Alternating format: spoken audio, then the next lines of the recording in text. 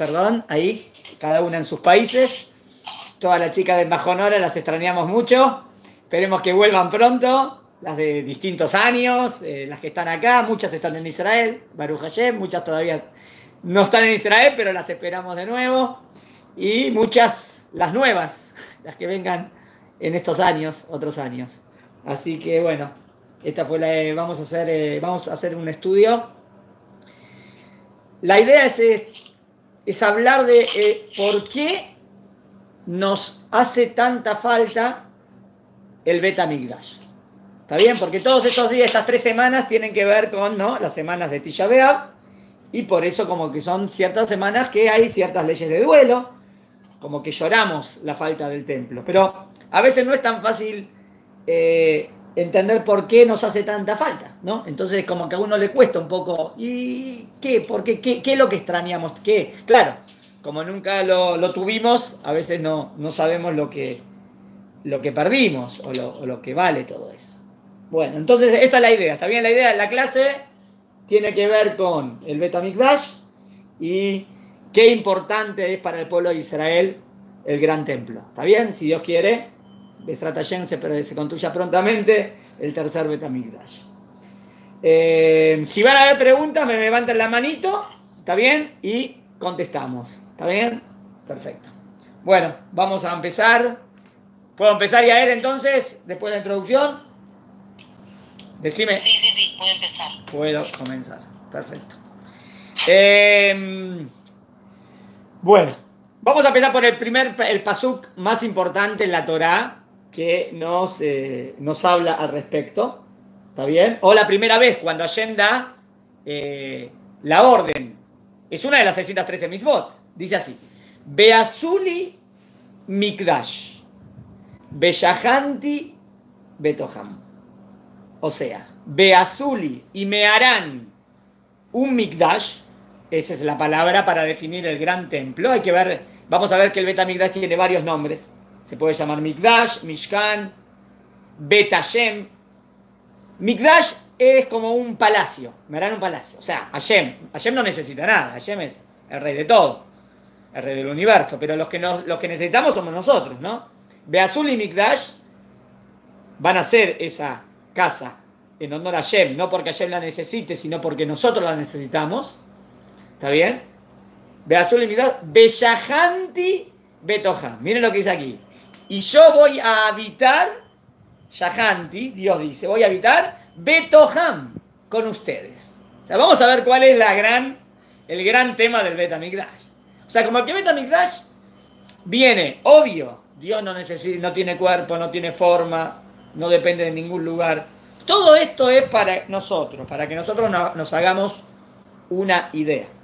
Y la idea es que entender que todo el objetivo es que Hashem esté más con nosotros. O sea, todo el tema del Beta Migdash es sentirnos más cerca de Hashem. Ahora díganme si eso no es de las más cosas más importantes o si no es la más importante. O sea, la pregunta fue, ¿Por qué tendría que llorar la falta del Betamigdash? ¿Por qué es algo tan importante? Vamos a ver a lo largo de la clase, quiero eh, más o menos demostrar, o sea, la primera parte de la clase ver la importancia de esto y después ver también un poquito de la salahot que hay en la Torah P.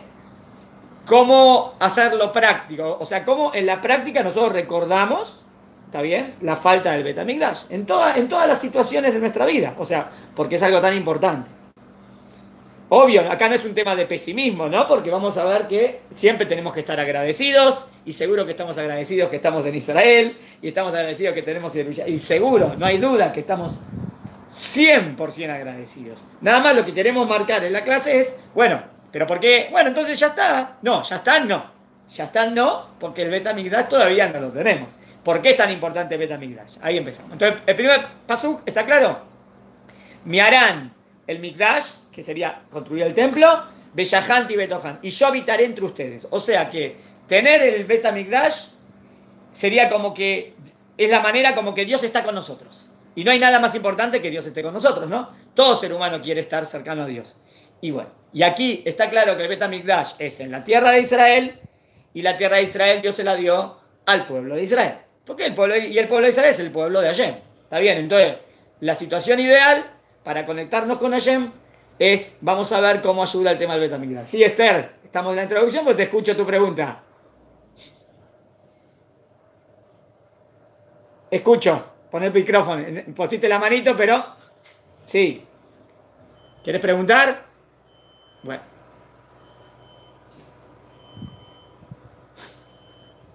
Bueno, sigo hablando.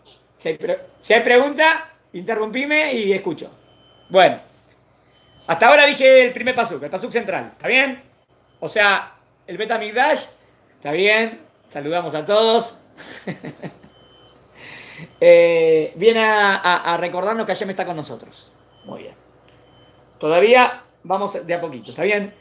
Presten atención que esto ya estaba marcado desde el principio. ¿Se acuerdan que Am Israel sale de Mitzrayim? Salimos de Egipto y cruzamos el Yamsuf, ¿no? Muy bien. Si uno, si yo les preguntaría a ustedes de qué habla la Shirah, el cántico, ¿no? El gran cántico que hicimos cuando pasamos el Mar Rojo. ¿Qué me dirían? Creo que me van a decir, ¿no? Que vimos la grandeza de Dios, el poder de Dios, los milagros, cómo Dios nos salvó de Egipto y cómo Dios destruyó al ejército, el ejército egipcio, ¿no? Creo que eso sería lo central del cántico, ¿no? De la Shirah. Pero presten atención, al final, al final de la, de la Shirah.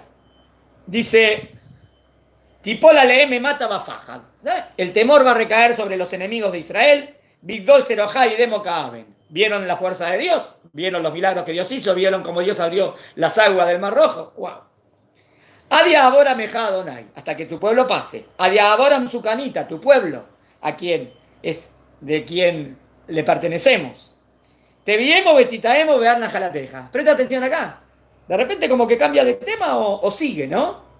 Te viemo, como que Dios nos va a llevar, betita emo, ¿está bien? ¿Dónde nos va a, meter, a, como, a, sembrar? Como que nos va, ahí nos va a plantar. Bear Najalateja. ¿Dónde? En el monte, en el, en el gran monte de Dios, donde vamos a heredar. Está hablando de la tierra de Israel, ¿no? Pero miren, si puede estar insinuando el monte de Jerusalén, Jerusalén. Miren cómo dice. Mahón le un lugar para habitar, también le para que a Israel habite, para que Dios le shibteja. Palta, Adonai. Ahora miren lo que dice acá. Mikdash. Oh. ¿Dónde aparece por primera vez la palabra Mikdash? ¿En la Shira? ¿Y qué dice ahí? Mikdash Adonai con Enú y Adeja.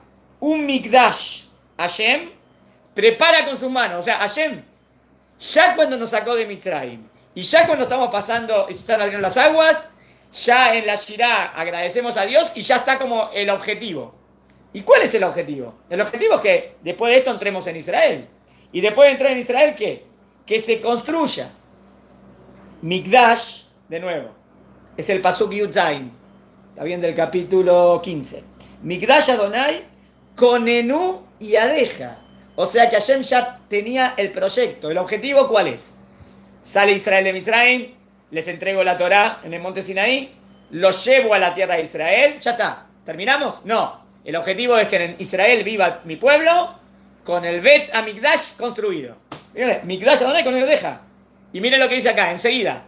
Adonai Imloch, Leo Lambaed. O sea que ¿cuál es el objetivo del Migdash? el Betamigdash. Hashem Imloch, que Hashem reine para siempre. Reina. Aunque lo reconozco, yo no lo reconozco. ¿Y cómo se hace? ¿Cómo se llega a ese objetivo? ¿Cómo se llega al objetivo de proclamar el reinado de? Cuando Am Israel vive en la tierra de Israel con el Betamigdash construido. Porque el Betamigdash, ¿qué es? El Betamigdash es el palacio. El palacio. ¿Y quién está en el palacio? El rey. ¿Y para qué tiene que estar ese palacio el rey? O sea que, que el Betamigdash esté construido es como sentir la cercanía de Dios mucho más a nosotros. ¿Se entiende? Es hermosa la idea. O sea, es, es el objetivo de todo. La pregunta nuestra fue, ¿por qué debemos llorar la falta del Betamigdash? Porque al fin y al cabo, ese es el top. El objetivo máximo es a Israel, en Eres Israel, con el templo construido. ¿Y qué es el templo? La casa de Hashem, el palacio de Hashem, donde nosotros proclamamos su reinado. Al fin y al cabo es el objetivo, ¿no? Dios es el rey del universo. Presta atención que Mikdash Adonai con enuya de Ja viene al lado de la pala, del pasuk Adonai Imloch de Porque ese es el objetivo. Hashem Imloch de madre. O sea, está bien. Hasta aquí. Dos pesukim vimos. Uno, Beazul y Mikdash, Beyahanti Betoja. Me construirán el templo y yo, ahí dijo Mishkan. Y yo habitaré, Beazul y Mikdash, no, Mikdash, perdón. Me construirán Mikdash y yo habitaré entre ustedes. La palabra Mikdash la habíamos encontrado antes. Ya dijo que vamos a entrar en Israel y ahí se va a construir el Betamikdash. Y ya lo dijo todavía, ni siquiera recibimos la Torah. O sea que ya estaba el objetivo, el proyecto. Bueno, vieron que dicen que hay ciertas ideas que fueron creadas antes de la creación del mundo. ¿Se acuerdan ese? Creo que es un Pirkei Es una misionada, un Pirkei que dice como que eh, Dios había, Dios creó la Torah antes de crear el mundo. Entonces, ¿qué quiere decir creó la Torah antes de crear el mundo? Pero cuando crea el mundo se crea todo, ¿no? No, quiere decir que la idea de la Torah es anterior a la creación del mundo. Bueno, cuando dice eso también dice otra idea que es anterior a la creación del mundo, la idea del Mashiach. Dice, antes de crear el mundo, ya Dios había creado la idea del Mashiach. ¿Qué quiere decir? Si todavía el Mashiach no vino. Quiere decir que todo el objetivo, Dios ya tiene un, como que Dios va a crear un mundo y van a haber seres humanos, y van a haber pueblos, y va a haber una era que va a ser... Perdón que interrumpa, ¿cómo está? Bien. Soy Sara. Hola Sara, ¿cómo estás? Lindo escucharte. Muy bien. ¿eh? Tanto tiempo. Muy bien. Ahora vienen las, las alegrías de escuchar las voces de, de, todo el año que estuvimos juntos y que ahora estamos un poco más separados, pero bueno, nos encontramos de nuevo. Bien, Sara. Bueno, Sara, estamos explicando la importancia de la falta del gran templo. ¿Por qué es tan importante para nosotros? ¿Está bien entonces? Dijimos que ese es el objetivo de, del mundo. ¿Cómo? ¿El objetivo del mundo es el templo? No, el objetivo del mundo es un mundo ideal. Y en un mundo ideal, el top, lo máximo es el pueblo de Israel viviendo en la tierra de Israel con el gran templo de Dios. ¿Que ¿Qué es el gran templo? Reconocer que Hashem es el rey. Como que Él está con nosotros. Claro, ayer no tiene cuerpo, no tiene forma. Pero todo simbólico. ¿Qué estaba en el templo al fin y al cabo? En el lugar más sagrado. Más, más sagrado. En el Kodesh Akodashim. Estaba el arca. ¿Y qué, qué había dentro del arca? La tabla, las dos tablas con los diez mandamientos. ¿Y qué dicen en esas tablas? Yo soy tu Dios que te saque de Misraim, no tendrás otros dioses. Ahí está el pacto. El top, el top, y el top de las 10 es esa, que Dios existe, que no hay otro. O sea, que Hashem es el rey del mundo. Esa cercanía, tremenda, tremenda cercanía entre Dios y Israel, hoy en día no la tenemos. O sea, al no tener el Betamigdash, porque no estamos en el ideal, no digo que tenemos un montón de cosas, pero todavía nos falta lo máximo. Y yo lo quería asociar con la época del Mashiach, porque al fin y al cabo ¿Se acuerdan cuando estudiamos eh, las condiciones para saber quién es el verdadero? Queríamos estudiar, vimos varias veces, dijimos, una de las condiciones para, para que sea el Mashiach verdadero es que construya el tercer templo. ¿Por qué una de las condiciones es que construya el Betamigdash? ¿Qué tiene que ver? ¿Cómo que tiene que ver? Es todo lo mismo. El Mashiach es la época ideal. ¿No? Y en la época ideal, si no hay templo, no estamos. ¿Qué decís, Esti? Que es el ideal construir. Exactamente. Eh, eh, es el ideal, ese es el, lo máximo, eso es lo que nosotros queremos llegar. Entonces, es obvio que si no lo tenemos, muy bien, Esti, que si no lo tenemos, eh, es obvio que estemos tristes, porque no tenemos, o sea, de nuevo, cuando yo digo estoy triste por eso, no es que no estoy, estoy triste y y vivo en una vida de tristeza, porque, porque obvio que estoy contento que tengo Israel. Seguro, Israel, ¿cómo no voy a estar contento? Estoy contento que tengo Me estoy contento que hay tantas yeshivot y tantos lugares para estudiar Torah. Obvio. Eso no quita lo que queremos explicar. La, la clase nuestra es ¿por qué debo sentir que me falta? Si a lo mejor yo no siento que me falte nada, sí, no. Si no sentís que te falta nada es que todavía no estás entendiendo lo que representa eso porque eso sí es muy importante, es como a nivel magia, es como no entender, es como, es como decir, ah, igual no me falta nada que no venga el magia, ¿cómo no te falta? El magia es, lo mejor, seguro que falta, seguro que estoy triste, o sea, todavía no estoy contento si no llega a ese nivel, ¿Se entendió? Entonces tenemos dos pesukim. Beazul y Mikdash Beshehati Betoham, el pasuk de Shiratayam. Y ahora, fíjense que lo decimos todos los días en la mitad, ¿no? ¿Qué decimos todos los días en la mitad? Todos los días en la mitad. ¿Hablamos del tema del Betamigdash? A ver, tenemos una o dos verajot. Vamos a ver. La primera que tenemos es Baruch Atayem, Boné y Yerushalayim. ¿Qué estamos pidiendo ahí? Boné, que construya Yerushalayim. Ahí se refiere a Yerushalayim, la ciudad física o al, tem, o al Betamigdash. ¿A qué piensan? Betamigdash. Al Betamigdash. Boné Yerushalayim es que se construye al Betamigdash. O sea que todos los días en la mitad pedimos tres veces por día, está bien, por lo menos, está bien, decimos, Hashem, por favor, que se construya el templo, Hashem, por favor, o sea, claro, ¿por qué? ¿Por qué lo tenemos ahí en los pedidos? Porque es de las cosas más importantes. Y miren, ¿se acuerdan que estudiamos que la mitad tiene tres primeras bendiciones, alabanzas? Después en el medio son todos pedidos. Y al final hay alabanza y agradecimiento. Muy bien. Ahora preste atención que en las, últimas tres, voy a las últimas tres. ¿Está bien? Eh, las últimas tres verajaos. Reche. ¿De qué habla Reche? Vamos a ver Reche, ¿está bien? Reche Hashem Eloqueno Beameja Israel. Utfilatan She. Que acepte nuestras tefilot. Beashev Abodá Lidvir Beteja. Que vuelva el servicio Dvir Beteja es al Betamigdash. Otra vez que se. Que, que la abodá en el Betamigdash funcione. O sea que tengo. En la verajá que estoy agradeciendo y alabando, también hay como. Algo de un pedido acá. Porque.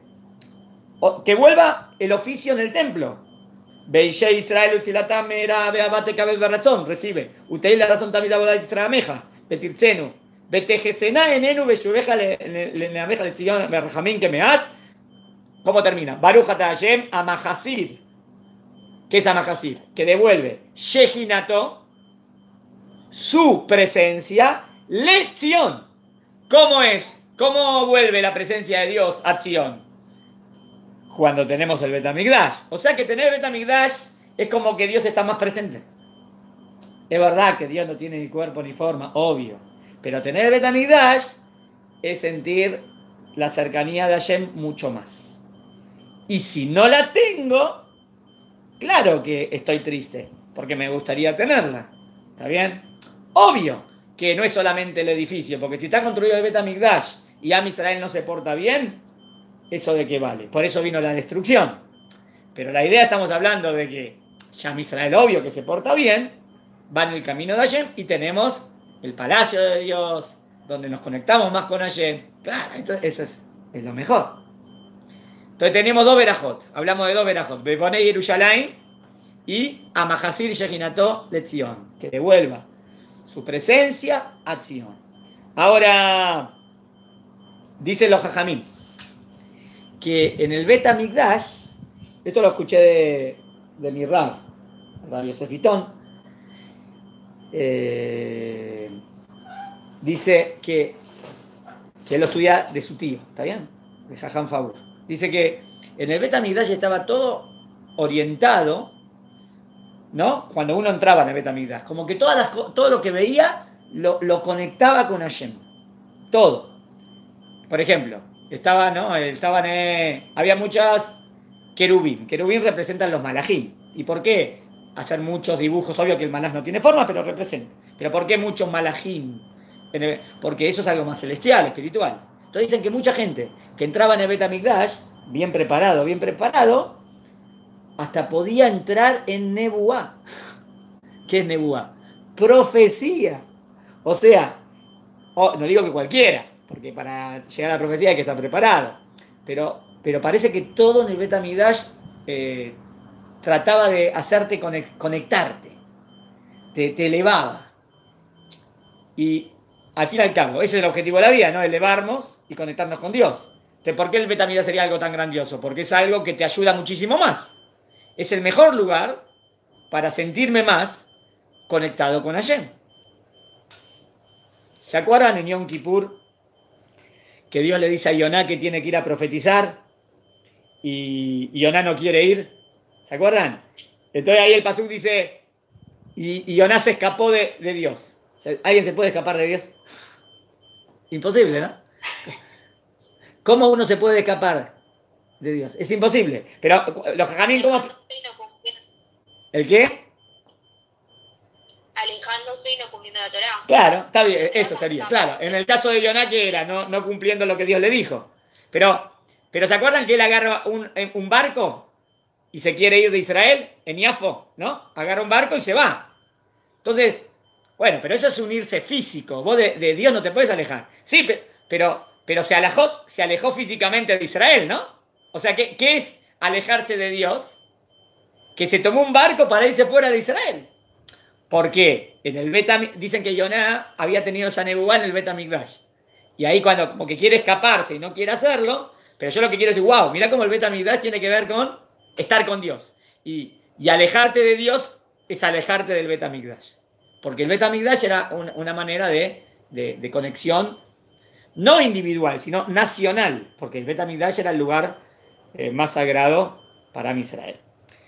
Cuando vieron que la peralla de la semana eh, bueno, en Israel leímos Matot. Ustedes leyeron Pinjas, pero ahora van a leer Matot Masé.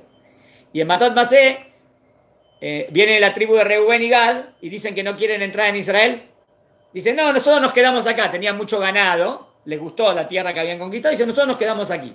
Entonces, cuando, cuando los jajamín critican a Reuben y Gad, dicen que se quieren quedar fuera de la tierra de Israel. Es verdad que la tierra que conquistaron también iba a ser, iba a ser parte de Israel. Pero ¿cuál fue la tierra de Israel que Dios... eh, ¿Cuál era la tierra de Israel que, que Hashem eligió por excelencia? Del otro lado del Yardén, ¿no? Pasando el río Jordán. ¿Y ellos qué quieren? Quedarse del otro lado. Entonces dicen, eh, muy mal. ¿Qué? ¿Prefieren quedarse afuera? ¿Y por qué? Porque tenían mucho ganado. o sea que le interesaban más los dólares y los, euros que, que- que la tierra de Hashem. ¿Y, y, y cómo terminaron Reuben y Gad? Fueron los primeros que salieron al Galut, cuando, cuando vino el exilio, porque Am Israel se asimiló. Los primeros que se asimilaron fueron ellos. ¿Por qué? Porque estaban lejos del Migdash. El Migdash está acá adentro, ellos están, ellos están afuera. El Migdash está acá. No te conviene estar lejos del Migdash, mejor estar más cerca del Migdash. No porque el Migdash, de nuevo, no es la piedra mágica que me protege, porque ninguna piedra te va a proteger de nada si no vamos en el camino de Hashem. Eso ya lo tenemos claro. Pero es el lugar donde vamos en el camino de Hashem, hacemos la voluntad de Hashem y nos acercamos cada vez más a Él. Entonces, es obvio que era algo grandioso. Muy bien. Ahora, ¿qué había en el Betamigdash? Un montón de utensilios, ¿no? Los Kelim. No. Y cada estaba la menorá, estaba eh, el, el altar de incienso, Misbeach Haketoret, estaba Shulhan del eje Mapanim con los panes, afuera estaba el Misbeach donde se ofrecían el altar eh, de cobre, los korbanot, y también estaba el Kior para hacer, para lavarse las yadayim. En el Kol Yakodashim estaba el arca con los diez mandamientos. Bueno, todos estos kelim que habían en el Betamigdash también representan un montón de cosas re profundas que nos conectan con Dios. Por ejemplo, el de los panes que representa que Hashem es el que nos da la parnasá. Hashem es el que me da el pan, el que maneja el mundo, el que te, el que te me farnés, otja, el que te, el que te, el que te eh, provee es Hashem. Esos son las, por eso 12 panes por las 12 tribus. Eh, la menorá, que Hashem ilumina el mundo. Hashem, hay quien dice que las- la- la- los brazos de la menorá también representan como los ojos de Hashem. Obvio que Dios no tiene ojos, pero significa que Hashem, Mashgiach, Hashem ve lo que pasa en este mundo. Hashem cuida lo que pasa en este mundo y si estamos más conectados con Dios, más con nosotros. También tiene que ver con nuestro objetivo, que es iluminar, iluminar al mundo para que todo el mundo vaya en el camino de Hashem. ¿Está bien? La de el altar de los corbanot de afuera, que representan los corbanot, el servicio a Dios, que obvio que es más simbólico, porque Dios no necesita ningún sacrificio, pero tiene que ver con estar dispuesto a dar todo por Dios. El del incienso es más algo, una, un servicio más adín, ¿cómo decir? Más fino, más, más puro. No hay algo, no, es, no hay animalitos, no hay, es más un aroma. ¿Está bien? Obvio que también eh, eh, y tenía que ver con, con- Era una manera clásica de, servir a Dios. Pero lo más importante es el Kodesh HaKodashim, donde están los diez mandamientos, ¿no? Y el arca. El arca ese, ¿qué representa el arca? El arca sería como el asiento del rey. ¿Vieron cuando el rey tiene un asiento? ¿No? Por ejemplo, ¿vieron cuando el presidente, no sé, en Argentina era así antes? Cuando el presidente de- de- iba a hablar por televisión, primero que enfocan. Enfocan el asiento, ¿no? Del presidente, ¿no? No hay nada. Y después el presidente entra y se siente. Yo no sé si es así, eso era hace 20 años. No sé si todavía es así. ¿Está bien? Pero, ¿qué representa el asiento del presidente? Hay presidente. ¿Entienden? Eso es lo que representa. Todavía no veíamos. O sea, ¿qué representa el arca? Eh, eh, eh, es como el, el asiento del rey. ¿Cómo se dice? El asiento del rey. Hay una silla, la silla del rey. ¿Está bien? No sé si hay una palabra. ¿Está bien? Es donde eso representa. El trono. Gracias, gracias. Sería el trono. El trono. El trono del rey. Y, y eso representa que el rey está ahí. Que Hashem está con nosotros. ¿Y qué está, y qué está ahí adentro? Los diez mandamientos. Ah, ah. ¿Y qué había arriba? Los, los querubín. Los querubín representan los malajim. Porque Dios ma- maneja el mundo a través de ángeles. ¿Está bien? Por eso cuando uno pregunta, ah, ¿cómo había ¿Cómo ponen forma? Pero Dios no tiene forma. Obvio que Dios no tiene forma. Eso representan los ángeles. Por eso no hay ninguna duda porque eran dos. Dios es uno. No hay ninguna. Que Dios es uno es algo básico. Esos dos mala- representan ángeles. ¿Está bien? Entonces, Dios. eh, y como, y, entonces, vieron que cuando llevaban eh, el trono, el arca, estaba prohibido llevarla en carrozas, lo tenían que llevar sobre los hombros, los Kohanim. Es como, como, que ese es el ejército, la- la- la- las personas, el pueblo que va con Hashem, y, y ahí va el Melech. Es verdad el Shem, nadie necesita, el rey no necesita que lo lleven, porque Hashem es el que maneja todo. Aquí. Está bien, pero simbólico, como que Hashem siempre va con nosotros. O sea, sentir a Hashem cercano a nosotros es el objetivo. ¿Está bien? Y, y de nuevo, ¿se acuerdan que había dicho que esta idea fue creada antes de, antes de la creación del mundo? O sea que la idea de que haya un Betamigdash y el Mashiach y todo, si fue creada antes de que Dios cree el mundo, es que es el objetivo. Y a eso apuntamos. Ahora, al no tenerlo hoy en día, obvio que lo lloramos porque queremos tenerlo. ¿Está bien? Se me fue la lucecita. Está bien, me quedé sin batería por eso. Está bien, pero hay luz. Eh, eh, ¿Qué iba a decir? Esperen que lo puedo enchufar de otra manera. Esto. Esperen que voy a enchufarlo de otra manera para que haya más lucecita. A ver, segundo.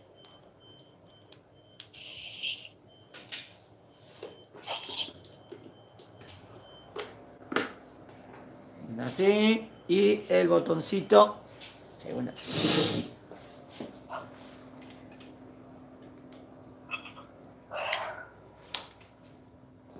Voy a poner una más tenue.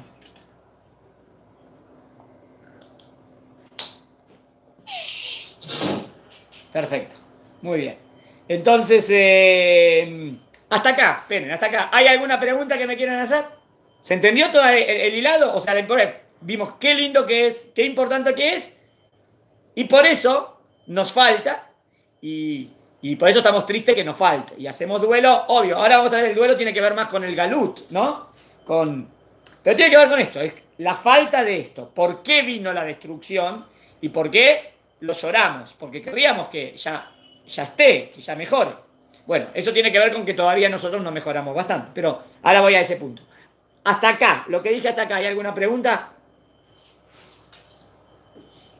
Lindo número, 26. Shema Shem. El nombre. 26 es Shema Shem. El, el número de Akadosh Barujú. Bueno, ¿está claro? Si no hay manito, no hay pregunta. Bueno, entonces ahora sigo. ¿Está bien? Bueno. Eh, iba a decir. Ah, bueno. Ahora, nosotros hemos. Sentimos la falta del Betamikdash y ah, tenemos días de ayuno. ¿Cuál es el objetivo de los ayunos? El objetivo de los ayunos no es ser masoquista, ayunemos para, para, para sufrir. Quiero sufrir. No, no, nadie quiere sufrir, no hay un objetivo en el judaísmo, suframos. No. El, el objetivo del ayuno, ¿cuál es? El objetivo del ayuno es eh, Concientizar. concientizarnos. Ah, primero, si todavía no tenemos el beta Mikdash, si todavía no lo tenemos, es porque todavía no mejoramos. ¿Estamos de acuerdo? Porque si ya hubiésemos mejorado, estaría el beta Mikdash construido. O sea que todavía no mejoramos. Si todavía no mejoramos, es que todavía tenemos que hacer Teshuvah. Porque ¿por qué vino la destrucción del templo? Porque nos portamos mal. Si todavía no está construido, es que eso de que nos portamos mal todavía no lo mejoramos totalmente. Porque si ya lo hubiésemos mejorado, ya estaría construido. O sea que el objetivo del ayuno no es masoquista. Hacer sufrir. El objetivo del ayuno es hacer Teshuvah. Ese es el objetivo del ayuno. Arrepentirse de corazón por cualquier transgresión, en todo lo que sea a nivel nacional. Es, hay una diferencia entre Yom Kippur y estos ayunos. ¿no? Yom Kippur es más a nivel personal, a nivel cualquier pecado que uno hizo. Pero los ayunos de la destrucción del templo tienen que ver más a nivel eh, nacional, a nivel Am Israel unido o no está unido, o por, o, por qué vino la destrucción del templo, cuáles fueron los pecados que llevaron a la destrucción del templo. Y ahí viene siempre el tema de Sinat Hinam, ¿no? Odio gratuito. Como que todavía falta ese amor gratuito entre Am Israel, en, no llevarnos mal porque el otro piensa diferente a mí, está bien, o este, este religioso, este no es religioso, este es así, este es asá, este es sefaradí, este es así. No pueden existir esas cosas, esas diferencias. Más que ahora, Baruch, gracias a Dios volvimos a Israel. ¿No? Estamos en Israel. Y bueno, entonces esto, eso del exilio de, tendría que desaparecer, tendría que haber unión. Y el unión hace la fuerza, y si hay unión y Israel va a estar unido y no va a haber tantas diferencias, obvio que va a ser uno de los puntos que va a ser la construcción del templo, seguro. Está bien, entonces, ¿cuál es el objetivo del ayuno? Hacer teyuba. ¿Qué tiene que hacer cada uno? Pensar en qué tendría que mejorar o en qué estoy fallando, que todavía por eso no tenemos el gran templo. Y en eso que cada uno hace, hace teyuba, ¿está bien? Mejora, y si Dios quiere, vamos a acelerar la venida del Mashiach. Esa sería la idea. Pero, eh, de nuevo, a ver si empiezo mi, idea. Me conocen a mí, ustedes me conocen bien. Saben que no hay que ser negativo, hay que ser positivo, motivación, bien, vivir la vida con alegría.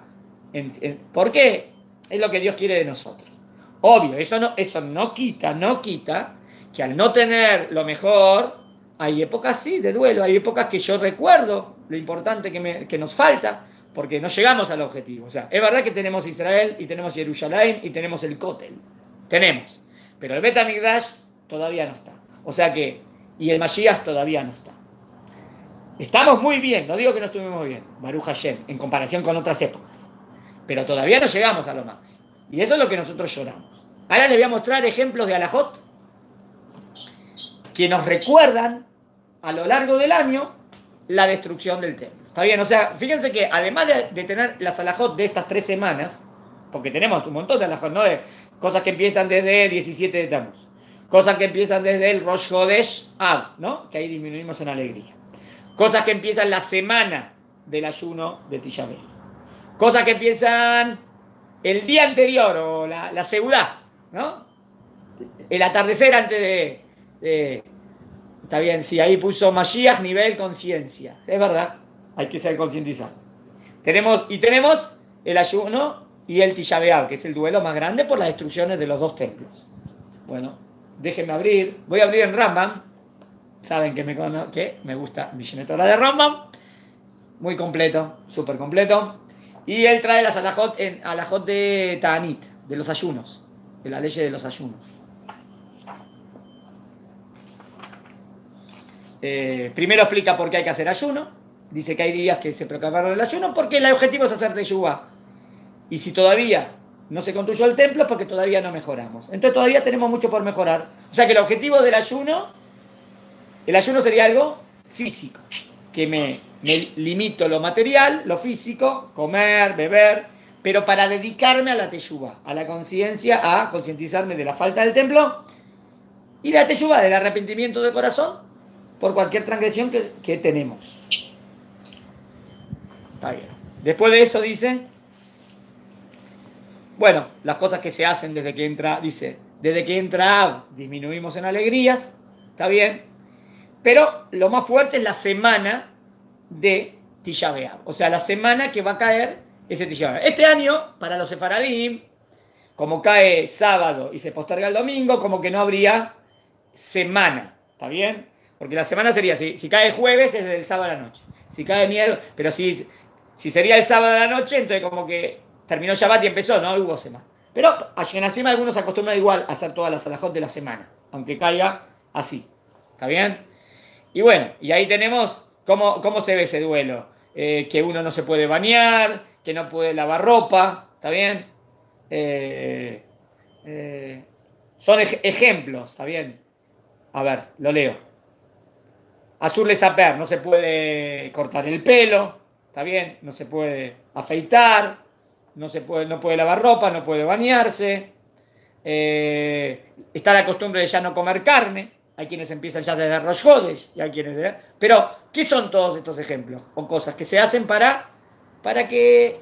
Obvio que son cosas materiales, pero para que yo sienta más eso que me falta. ¿Está bien? Eh, todo el tema de no puede haber una orquesta, ¿no? Algo, música grande, que normalmente trae felicidad, pero estás de duelo, no se puede. Bueno, ahora quería mostrar algunas alajot que no son tan conocidas. A ver si llego a las alajot que no son tan conocidas. Miren esta. Desde que se destruyó el Betamigdash, Tignuja Jamim Toador, decretaron los Jamim de esa generación, A. No se puede construir una casa bien, completa. El ataj Amalama. Hay que dejar 50 centímetros por 50 centímetros sin construir. ¿Sabían esto? O sea, que ¿Qué pasa? Que a veces uno, uno compra y ya está, con, ya está terminado. Entonces ahí hay una laja, si estoy obligado o no estoy obligado a, sacar. O, o, sea, la idea es que si yo construyo una casa, no la construyo completa. ¿Por qué? Porque no puede estar mi casa construida completamente si el templo no está. Y por eso hay que dejar 50 centímetros por 50 centímetros cuando uno entra en la casa para que se vea que está sin terminar. ¿Para qué? Para recordar la destrucción del templo. Miren qué, qué, qué lindo lindo. Obvio que es triste, pero ¿cómo decimos? No puedo decir, ah, yo tengo mi casa y qué me importa. No, no, que me importa, no. Te importa y te debe importar. Tu la casa de ayer no está. ¿Se acuerdan que como que Shlomo, David Amelech estaba construyendo su casa también? ¿Y qué? ¿Y la casa de Dios no está? ¿O Shlomo Amelech? No. ¿Qué? ¿Está mi palacio y la casa de Hashem? No. Antes que todo, la casa de Hashem. Muy bien. Lindo. O sea, la laja es que hay que dejar 50 centímetros por 50 centímetros sin en el revoque, como que sin poner todo y pintar, sino hay dejarlo como en construcción. Muy bien. Esa es una alajá para recordar la destrucción del templo. Otra. Itkinu, Shaore Shulhan, miren esto. Ese no es tan conocido hoy en día. El que prepara la mesa, hay, tiene muchos invitados y él prepara la mesa para todos los invitados. Mejazer Mimeno Meat, la Azot Segura Leorjim, Mejazer Mimeno, deja un lugar de la mesa vacío no puede estar llena. ¿Por qué?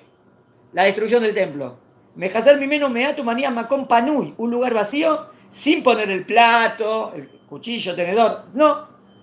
¿Está bien? Arregla Techam. ¿Para qué? Para que se vea que la alegría no es completa. Porque tú hiciste una ciudad, que fue un casamiento, algo, todos completos, todos felices. ¿Eh? No. La alegría no es completa. Tercera, tercer caso. Que ya o que se. Miren. Una mujer tiene joyas, ¿no? Tiene sus joyas. Entonces, en un momento lindo de tu vida, en una fiesta, en un casamiento, en los momentos, una, la mujer le gusta vestir sus joyas. Dice, cuando una mujer se pone sus joyas, sus adornos de, plata y oro, que alguna de las, de los, alguna de las joyas no se la ponga. No, porque me quiero poner todas. No, Todas no. El beta todavía no está construido. Oh, ¿eh? No es tan conocida esta laja también, ¿eh? Que hay que dejarse. No se puede adornar completamente. Tiene que dejar algo sin usar. Puede usar una, puede usar otra, pero no todas. Y cuando un novio se casa, ¿está bien? Ahora primero hay una que esta no es tan conocida. Últimamente vi en algunos casamientos que lo están haciendo. Lo que hace Efer, mi cleve, no te yo.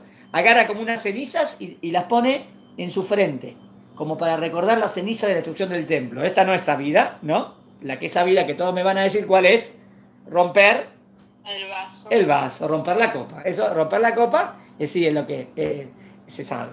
¿Está bien? Pero a veces también en eso hay que prestar atención, porque viste, porque vieron que rompen el vaso y todos dicen, ¡más alto! Y como que relacionan la ruptura del vaso y más alto, el casamiento, pero no, no.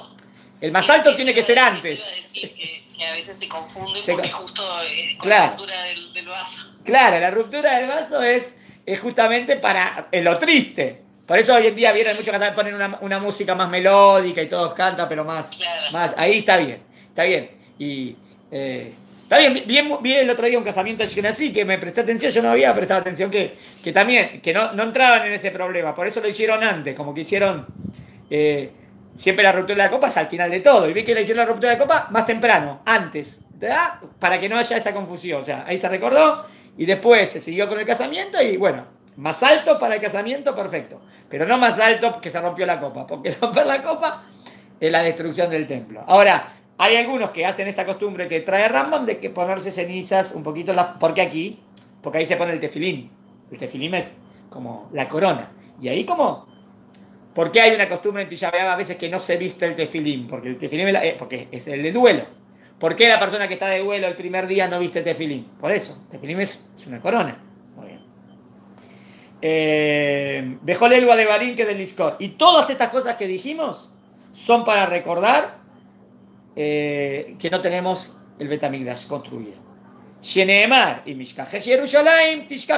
Si yo me olvidase de Yerushalayim, que, que me olvide de mi. ¿Entienden? ¿Qué quiere decir? Que me olvide de mi diestra. Tu diestra, diestra es la mano fuerte que uno tiene. Y con la mano fuerte uno hace las cosas automáticamente. Entonces, así que que nunca pase que me olvide, porque si me olvido de Yerushalayim es como que me olvido de, mi diestra, es como, es, lo- es- es lo- parte mía. ¿Está bien? Es como lo más mío que tengo. Entonces, si me olvidé de Yerushalayim, como que me olvide de mi diestra. ¿Está bien? Tilbak le shonen ejiki, imlo eskereji, imlo ale Yerushalayim, al rosh simchati. O sea que hay que, siempre en el rosh simchati, siempre por encima de todo Yerushalayim. Y si hay una fiesta o algo, siempre se hace algo para recordar que el Betamigdash no está completo. Bejen Gasru, dice Rambam, decretaron que no se toquen instrumentos de música. Bekol Minesemer, Bekol Mashminekol Shel Shir, en- por la destrucción del templo. Esto hasta hoy en día es muy difícil, porque estar sin música es, es algo muy difícil. Pero en verdad había una que será, había un decreto, en principio, que, que- que no. O sea, puede haber música en un casamiento. O puede haber música en una fiesta grande, importante. Pero si no es así, como que estaría prohibido que haya un show de música. Difícil, ¿no? Porque hoy en día, bueno, eh, la gente necesita la música para elevarse, para, para, no sé, en contra de la depresión. Pero, en verdad, en principio, de acá viene la alajá de no escuchar música. Rambam no trae, no lo trae por, las tres, por las tres semanas, o, o en el, lo trae como que en principio sería todo hasta que no se construya la Betamigdash, pero es muy difícil, ¿entiendes? Es como que fue un decreto muy fuerte, que no, como que con los años perdió la fuerza, porque era muy difícil, me imagino. Pero hay quienes, eh, está bien, o sea, como, de nuevo, concierto puede haber, siempre que sea con un motivo. Si el, moti- si el motivo es casamiento, sí. Si el motivo es una fiesta, un brimilá, un bar mitzvah, sí. Pero sin motivo, como que estaría prohibido. Bueno, sigo. Eh, después decretaron sobre. Habían unos. Los hatanim, los novios se ponían una corona cuando se casaban. ¿eh? Algunos dicen, eh, ¿por qué no le dan el anillo al novio? Está bien, el anillo es del novio a la novia. Pero había como una corona que se ponían los novios. Gazrúa la tarot hatanim llenó la dijo. Y decretaron que desde el momento de la destrucción del templo no se los pongan más. ¿Está bien? Llenem, muy bien. Y las últimas, vamos a las últimas a la hot que tenemos aquí. Dice de cuando uno eh, ve, esta es muy difícil, hoy en día se hace, pero uno llegaba a Jerusalén, ¿no? Entonces cuando llegaba a Jerusalén, como que estaba todo destruido, porque no estaba Jerusalén. Y ahí estaba el lugar donde tenía que estar el Betamigdash. Entonces una persona que llegaba ahí se rasgaba la prenda, como de duelo. ¿Está bien? Hasta hoy en día muchos, cuando la primera vez que llegan al cótel, ¿está bien? Como el Betamigdash no está construido, se rasga la prenda. Lo que pasa es que hoy en día es difícil, porque uno cuando llega al cótel, ¿cómo llegan al cótel? Más felices y... ¡El cótel! A, verdad, a pesar que el cótel no es el templo. El cótel es la pared de contención. O sea, no tendría la Kedushá. La Kedushá es el Betamigdash. Eso es una pared para, para sostener el piso. Pero es lo que nos quedó. Entonces, como es lo que nos quedó, cuando uno llega a Israel y va al cótel, está muy feliz. Por eso es difícil esta alajá, porque esta alajá es como que estás, estás triste. Bueno, yo entiendo que cuando se decretó esto, era porque vos veías todo desolado. Entonces, vos entrabas en Israel y ya todo desolado, y ahí estaba el Betamigdash y era muy triste. Y pero también decretaron, por eso normalmente, muchas veces, mucha gente cuando la primera vez que llega al cótel, se rasga la vestimenta. Y esa vestimenta no se, no se puede coser, no se puede, por, por duelo. Pero, de nuevo, está ese punto que hoy en día, gracias a Dios, estamos en Israel, gracias a Dios hay mucha Torah, de nuevo, es lo bueno que tenemos. Pero hoy estamos hablando, pero, pero, pero el templo todavía no está. ¿Está bien? Eh, termina de Rama la Salahot con una alhaja muy linda. Dice: Todos estos ayunos, acuérdense, eh, 10 de Tebet, eh, el sitio, no. Vamos de nuevo. ¿Cómo fue? Sí, 10 de Tebet el sitio, 17 de Tamuz la destrucción de las murallas, Tisha la destrucción del templo y 3 de Tishre lo único que quedaba, Son Gedalia, que había un pueblo, un poquito de Yehudim, también se salieron al exilio. O sea que todos estos ayunos tienen que ver con la destrucción del templo. Dice, Kola Tzomota Elu Atidim Levatel. Todos estos ayunos en el futuro se van a anular. Leyemota Mashiach. ¿eh? ¿Por qué? Porque Yemota Mashiach tiene que ver con el Betamigdash, es lo que dijimos. Cuando venga el Mashiach, esos ayunos no se van a hacer más. ¿Está bien? ¿Por qué? Porque ya va a estar construido el templo. ¿Y por qué hacemos? Y bueno, no, seguir seguí recordando que alguna vez se destruyó. No, porque yo no, no es un tema de masoquista, de nuevo. No tengo que recordar que se destruyó porque, para recordar que se destruyó. Algo nostálgico. No. No, tengo que recordarlo para mejorar. Y si hago teyubá y mejoro y se construye el templo, ya está. Genial. Entonces, cuando venga el Mashiach ya no va a haber más esos ayunos. Veloz, el Ayema Tidim Liot Yom. No solamente que no van a haber ayunos, se van a convertir en días festivos. ¿Cómo? ¿Un día que era triste es un día festivo? Imaginen, el, el, el 9 de Av va a ser un día de fiesta.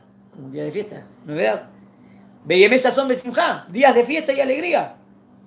Para, primero vamos al Pasuk. ¿Dónde dice eso? Lo trae Sejaría, profeta Sejaría. Ko Amar Hashem. Así dijo Hashem Sebaot, el rey de los ejércitos. Soma Revi, el ayuno del cuarto mes. Soma Hamishi, el ayuno del quinto mes. El cuarto mes sería 17 de Tamuz. El quinto mes sería 9 eh, de Av. Soma Shevi, séptimo mes sería 3 de Tishrei. Betsoma Asiri, el 10 de Tebet.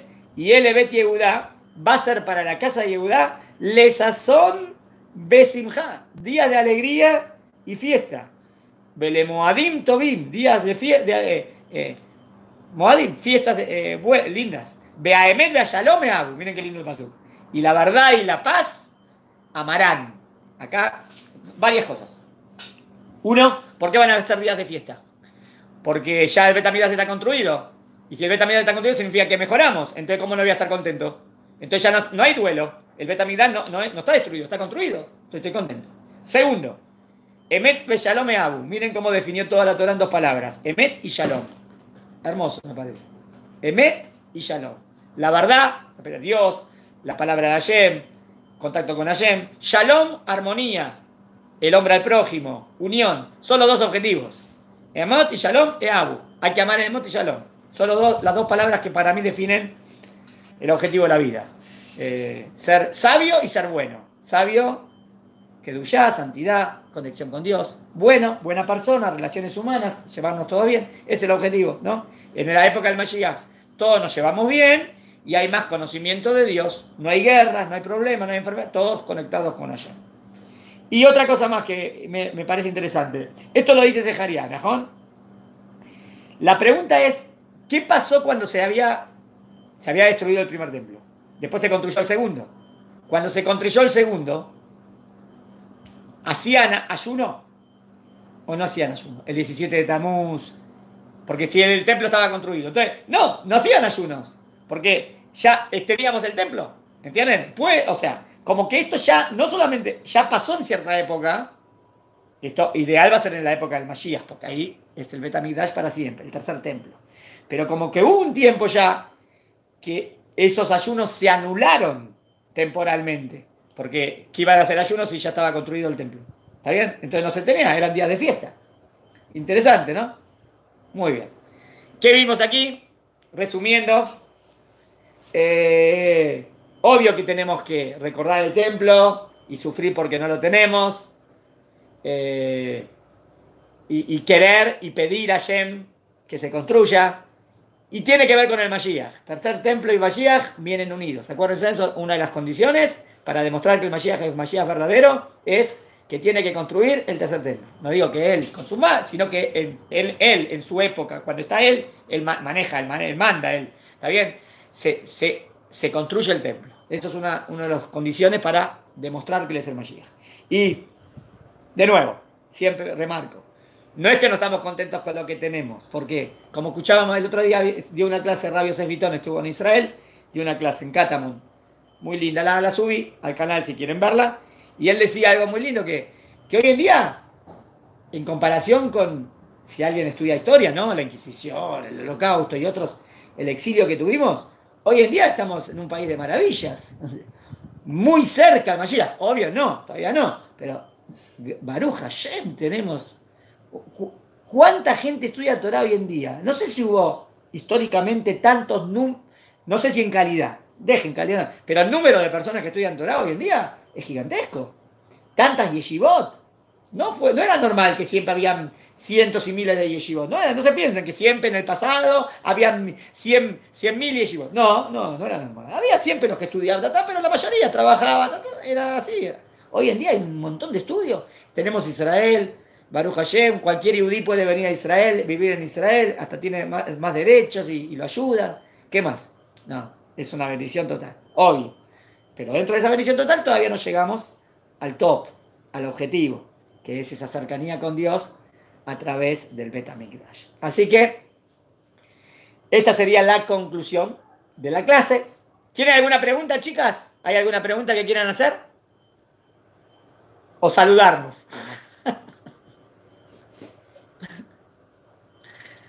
Bueno, se mantuvo el número 26, número bueno, el número 26. Yema Yem. Yema Yem hasta el final. O sea que todo lo que tuvo que ver con la clase, que esa Yem está con nosotros, Hashem, como que está en el numerito. ¿Está bien? ¿Está bien? Hashem está con Am Israel. Muy bien.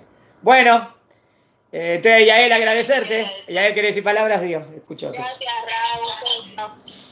Antes que nada quería, bueno, vi que se incorporaron eh, alumnas, exalumnas y amigas, les mando saludos, las extraño. Eh, le, le, quiero agradecer al Rab, la verdad que estuvo muy linda la clase. Nos estamos preparando, de, a, de, a, poco nos vamos preparando y concientizando sobre todo. Y bueno, eh, taller vamos a seguir con, con eh, Shiurim, estamos organizando para que eh, puedan acceder también online, eh, por lo menos semanalmente. Y eh, bueno, como les comenté, ya estamos por empezar de nuevo el programa de LUL, así que si conocen amigas que estén interesadas, hay, hay dos becas disponibles. gracias a Autoren que, que quiere hacer posible que, que dos chicas estudien en, en, el UL y se preparen para los Hagim. Así que ahí dejé mi número de teléfono por si necesitan algo. Y eh, me alegra mucho verlas, algunas no, no están con cámara, pero eh, la verdad que me alegra mucho volvernos a, ver para estudiar todas juntas. Así que, Besat Hashem, eh, nos estamos viendo pronto. Y, bueno, que, que, sigamos, sigamos eh, preparándonos para, para Tisha y que tengamos conciencia y que Besat Hashem eh, no tengamos que ayunar. Muy bien. Besat Hashem, que te construya el templo. Saludos a todos. Siempre se dice Tzom Kal, ayuno fácil, pero Tzom y Ail, beneficioso. Con Teshuvah y todo lo mejor. Muchos saludos. Gracias, Buenas noches. Gracias. Saludos, saludos. Las esperamos todos aquí. Bueno, Judaísmo en vivo. Espero que les haya gustado la clase. Ahora, bueno, hasta aquí. Saludos a todos. A ver, quedó trabadita. Quedó trabadita. Saludos.